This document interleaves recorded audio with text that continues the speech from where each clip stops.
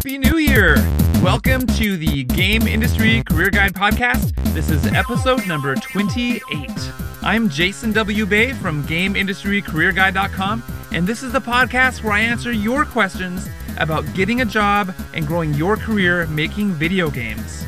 This week's question comes from Mihai, who emailed me to ask this Is it better to be a freelancer or an employee in the game industry?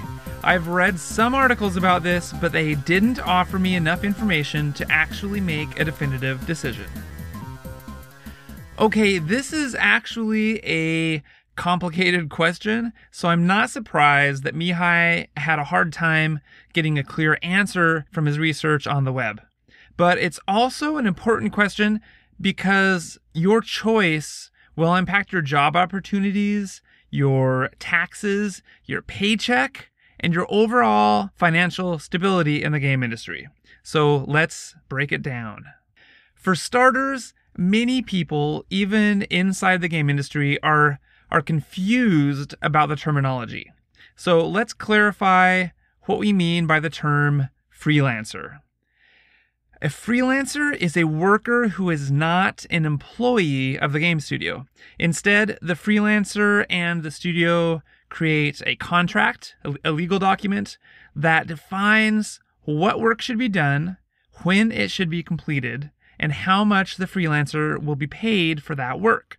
The work could take a few weeks for a short contract, or it could take several months depending on the project. A more common term inside the game industry is independent contractor, so you'll hear that. But you'll also hear the term freelancer too. They're usually talking about the same thing. By the way, everything we're talking about today will vary from country to country and maybe even state to state. So I'll be talking mostly about how things are done here in the US. I'm also not a lawyer, so you should consider talking to an attorney or other legal expert before making any decisions like this that would greatly affect your employment and your income. Okay, now that we've defined the terms, what are the important differences between a freelancer and an employee? There are several differences, but here are the three that are probably the most important to know about.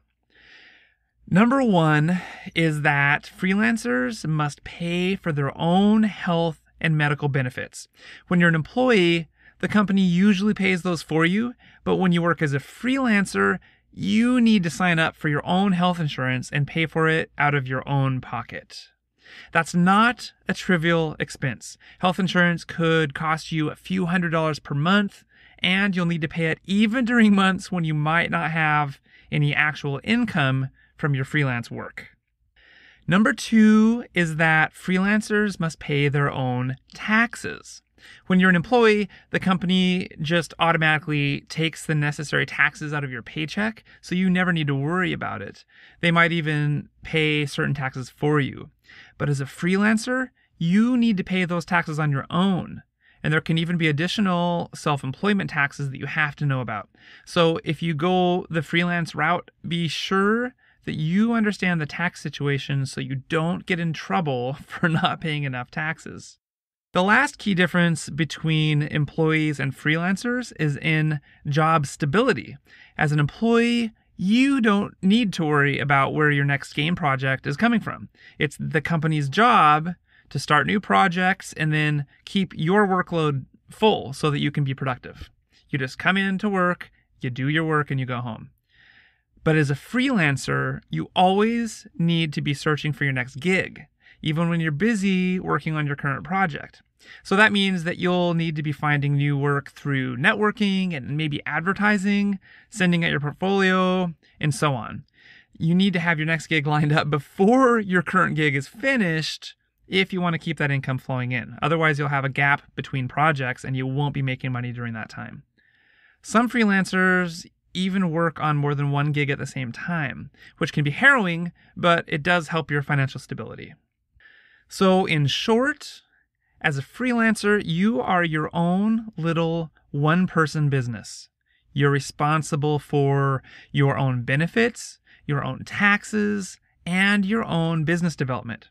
If being a salesperson and drumming up new business doesn't sound like something you excel at, or if it, or if the higher degree of instability kind of scares you or stresses you out, then freelancing might not be for you. So, why would anybody even want to be a freelancer? Well, first off, you can get paid a lot more per hour as a freelancer.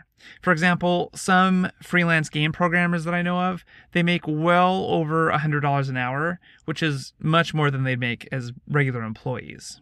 Secondly, there's the flexibility of working when you want, how you want, on projects that you choose. You're your own boss. And a lot of people prefer that lifestyle so much that it more than outweighs the other annoyances and instability that come with being a freelancer. And finally, some jobs in the game industry can be hard to get as a full time employee.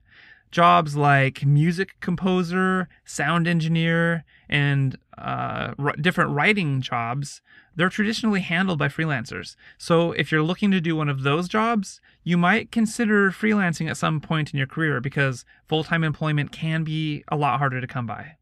There's one more thing that I want to mention about this, and I think this will answer Mihai's question directly. If you're just starting out in the game industry, I would recommend starting as a full time employee instead of a freelancer, and then becoming a freelancer after a few years if you think that that would appeal to you. Why do I recommend that? Because working on a game team full time for a while will give you experience and help you grow your mastery of your skill set and build your portfolio of shipped titles. That will come in very handy when you become a freelancer later on and you're trying to convince companies that you're worth the money because it will be very difficult to get hired for freelance jobs if you don't have a track record of shipping games. It's just too risky for a game company to try you out. Also, because working in a game studio will help you build your professional network. Those people that you meet and work with at the game studio, they will play a key role in helping you find work and get gigs when you become a freelancer later on, which will make your sales efforts a lot easier. Lastly, working full time for a few years will give you a chance to save up some money to use as a financial safety net in case you're ever unemployed for a month or two between freelance gigs. And let's be honest, it will probably take many months of effort before you're booked solid as a brand new freelancer. So you'll need all the help that you can get from your contacts in the industry. The most successful freelancers that I've known over the years started as employees. So, for all of those reasons I've already mentioned, I strongly recommend that you consider doing it that way too. Start as an employee, get some experience, build your network, and then become a freelancer later on if that lifestyle will work for you. That's an overview of the pros and cons of being a freelancer versus a full time employee of a game studio, along with some ideas on how to get started. Thanks to Mihai for this week's question, and thank you for hanging out with me today. If you have a question that you'd like me to answer on this podcast, stop by the website and leave a comment or just send me an email.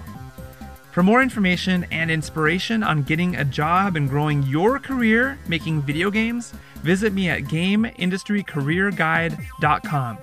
I'm Jason W. Bay. Let's meet up again next week, right here on the Game Industry Career Guide podcast.